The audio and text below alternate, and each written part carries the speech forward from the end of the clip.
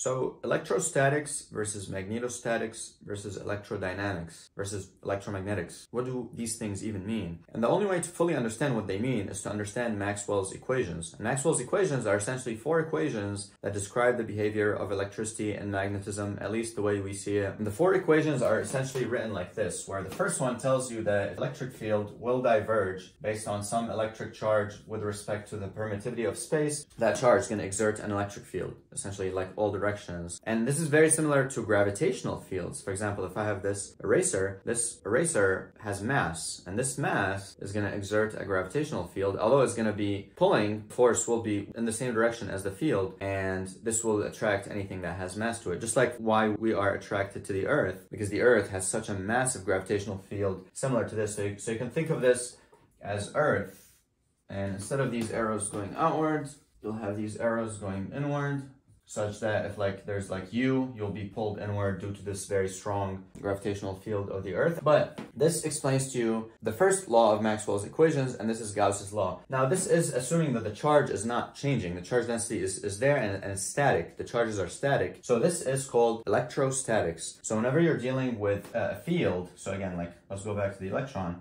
and the field lines in this case are not changing because the charge itself it has not changed and it has not moved. This stays the same essentially forever or for a very long time. And this is electrostatics. Hence the electric field is static because the charge is static, okay? Now, the second part of Maxwell's equation, and this is equation number one, this is called Gauss's law for electric fields. Now, if we want to think of the second equation in Maxwell's equations, it's very similar, but it's actually way simpler. So again, we are looking for some sort of divergence behavior. But in this case, instead of just thinking of the electric field, we want to think of the magnetic field. Is there a magnetic charge? Is there a magnetic monopole that would exert something? So where it was charge density for electric fields, for magnetic fields, it's actually nothing, zero. And that is for the simple reason that basically magnets and magnetism does not have this divergent behavior, right? And if you look at a magnet, it will always have a north pole and a south pole and the behavior will always have these curved lines. You'll never have a magnet that has lines that go like this. That just does not exist. There's always going to be this North Pole, South Pole polarity. And because there's no monopole, essentially, there's no divergent behavior for the magnetic field. This is Gauss's law for magnetic fields. And essentially, this tells you that in order to create a magnetic field,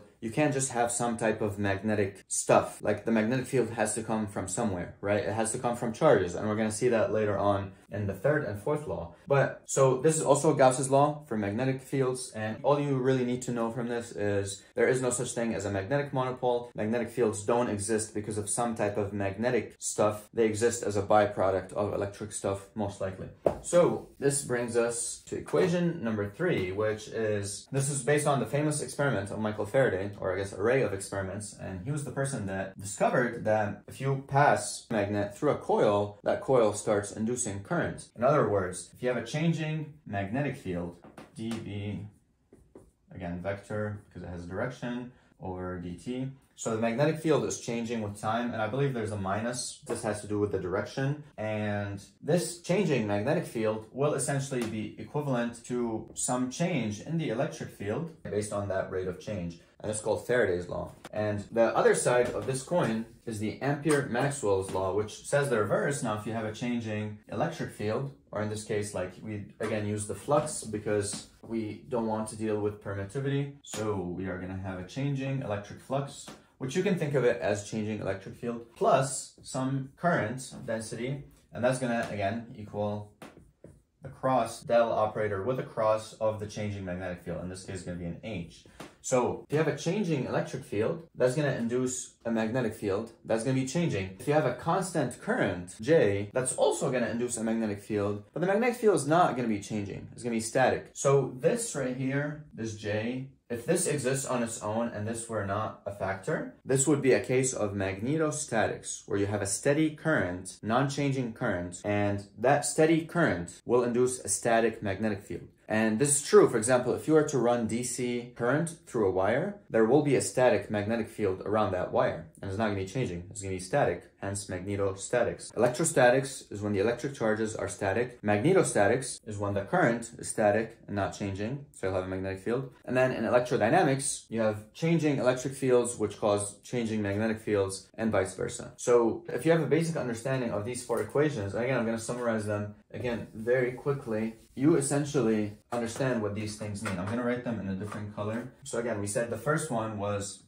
the charge density is equal, if, if you have a charge that's existing in space, like any charge that's just chilling there, that charge will have an electric field, and that electric field will basically diverge in space, in free space, or in whatever material you have it in. E naught in this case would be free space, or like it would be, if, if it's a different material, this value would change, and then this essentially would be the electric field, which is a vector, because the electric field has to have a direction, hence there's electric field lines, and this is going to be Oh, it's not a cross, it's a dot because it's divergence, okay? So this is the law of electrostatics. And then we have similar case for, this is the second part of Gauss's law that tells you that there is no such thing as divergent magnetic behavior. There's no magnetic monopoles. This is equation one for Gauss's law. This is equation two for Gauss's law.